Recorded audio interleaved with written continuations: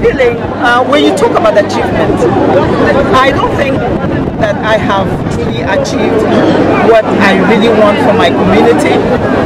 Uh, but you know, I have done my little bit today, and by God's grace and God's willing, I will do a lot more um, with good health and um, you know, and, and, and prayers. Uh, God will maybe give me a different direction to honor another group uh, tomorrow.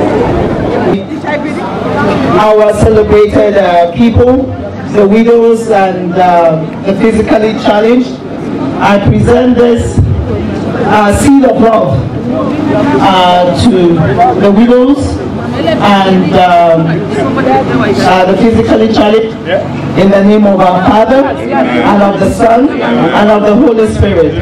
Thank you very much and Happy New Year.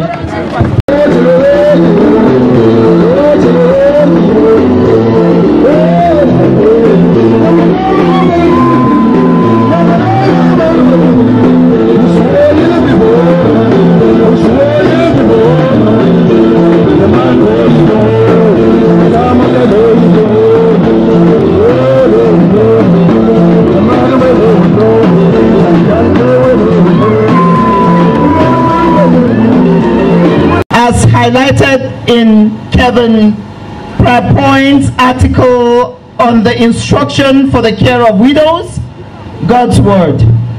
The Bible gives instructions on the treatment of widows as we are to be treated as worthy, as they are to be treated as worthy of God's mercy.